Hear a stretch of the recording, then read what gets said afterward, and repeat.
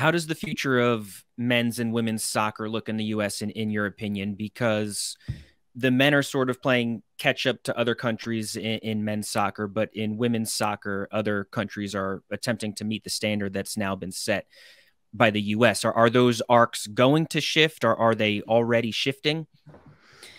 Yeah, I mean, um, you know, the women's game is growing exponentially around the world. Uh, it, it's it's a wonderful thing. Like when I started on the national team in the early 2000s, I mean, even in Germany, which was a one of the powerhouses. I mean, these women are like working through the day, and then they would like train with Frankfurt in the evening, and they were still one of the best national teams in the world.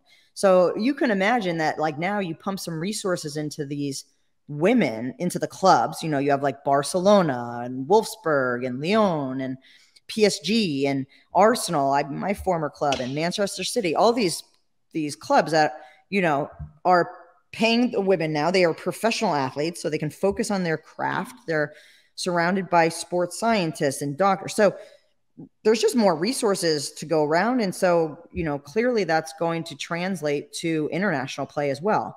And so where the US had a leg up always because essentially of Title IX from the 70s, um, which, you know, allowed essentially a, a huge blanketed training ground for athletes, you know, 19 year old women, 20 year old women, 21 year old women to, you know, essentially go to college and get their you know their training paid for. They didn't have to do anything except be a student and train. And so this wasn't happening in other parts of the world. Um, so from the very beginning from like the 70s then all of a sudden you had you had women that were like great athletes. And Anson Dorrance gets a hold of those athletes in 91 and it wins the first women's world cup.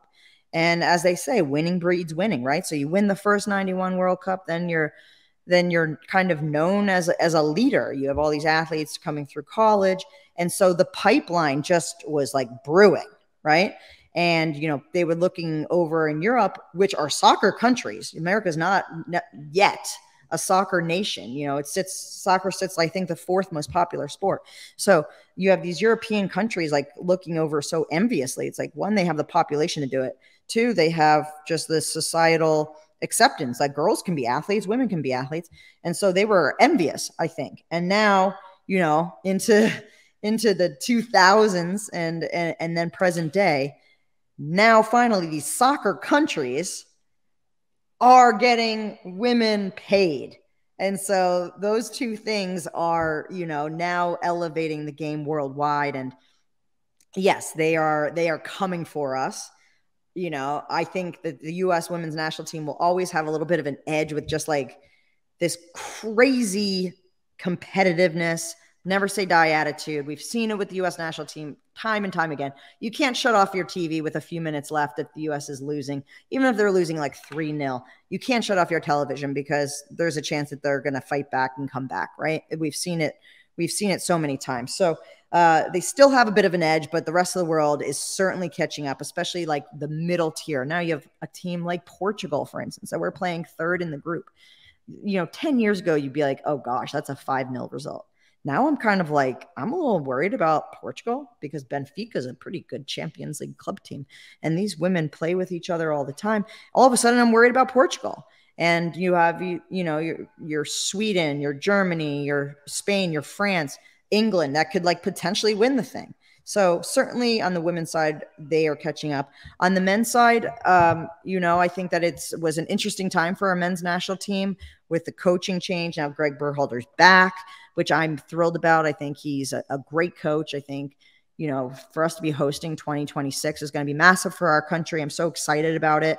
Um, and I think that they could be, you know, I, I think that they should have their sights on like quarterfinals if they're not in the quarterfinals of a home World Cup in 2026, I think that that's that's a letdown. That's a bummer. That's a failure with uh, the growth of soccer in our nation and um, the talent. You know, obviously Pulisic, uh, Weston McKennie. You have you have some really really great players. Gio Reyna um, is doing some really good stuff. So the talent is there. I think the coaching staff is there, and and our country is ready for it. So yeah, I think that's a great question. I think you're seeing uh, a little bit of a leveling out um, and on the women's side, unfortunately, it's the rest of the world catching up.